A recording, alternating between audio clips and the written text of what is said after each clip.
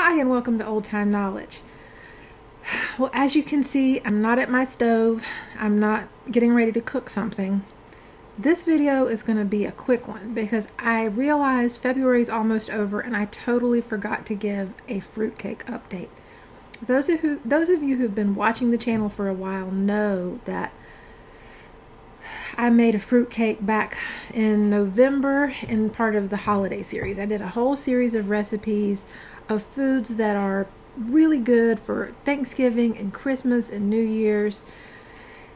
And I was really excited about the fruitcake because I've never had fruitcake before, and yet I know it's been a part of Christmases for centuries.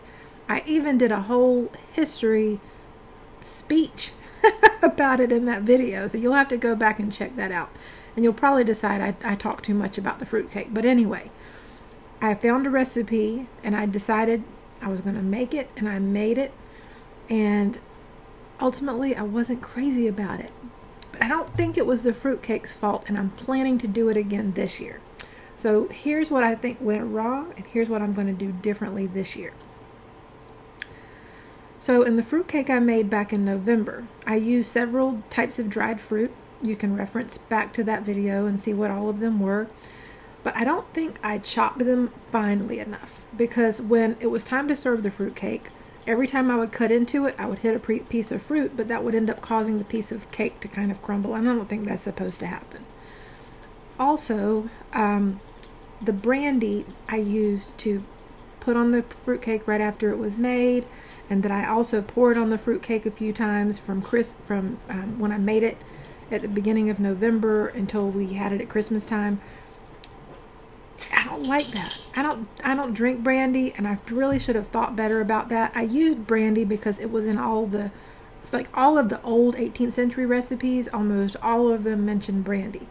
So I thought, well, this is the most traditional thing, so this is what I'm going to use and I probably should have should have just done what my mom said my grandmother always did when my mom was a little girl is put Manischewitz wine on the cake. So that's what my grandmother used to use when she would make a fruit cake. She would pour she would pour that wine on it and she would just wrap it in a, a nice old clean bed sheet and then on Christmas she'd serve it and that would be it and she wouldn't keep adding wine to it. She'd put wine on it once and then that would be it.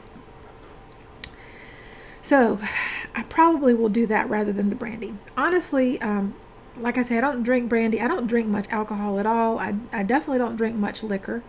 If I do drink liquor, it's usually a spiced rum, and I like that with Coke because I like rum and Coke.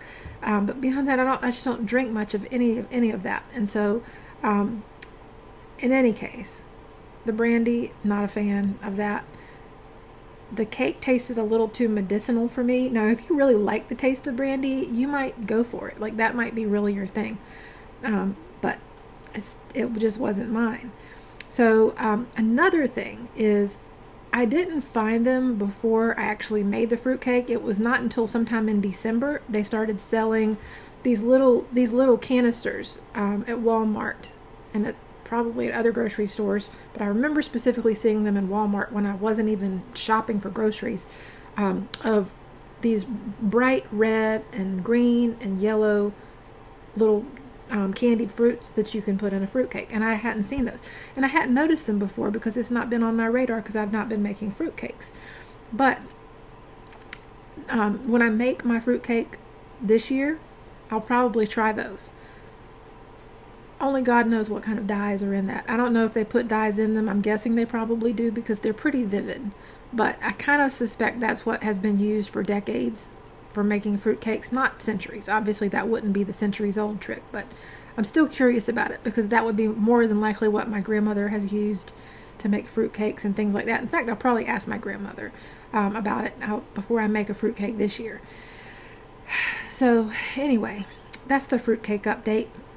I made it. The batter was delicious, but the finished product at Christmas was disappointing. But I think it can be salvaged if I do something different with the fruit and if I don't use brandy. So, I hope you'll stick with me all this year. I hope you're subscribed to this channel because that way, when that time of year rolls around again and I'm posting holiday videos, assuming I do that again this year, if y'all like that, let me know and I'll be sure and do it. Um, but uh, you can follow along because I'll certainly have to do a video on a new recipe for fruitcake, which might turn out to just be my grandmother's recipe for fruitcake. So, anyway, thanks so much for watching. If you're disappointed I didn't make anything this time for for this video, don't don't worry. I will be making one before the week is out um, with some sort of recipe. I haven't decided what it's going to be yet, but I am going to be doing a recipe this week. But this is just an update, and I had to get it out, and I didn't want February to go by without me doing this. So, thanks so much for watching. Bye bye.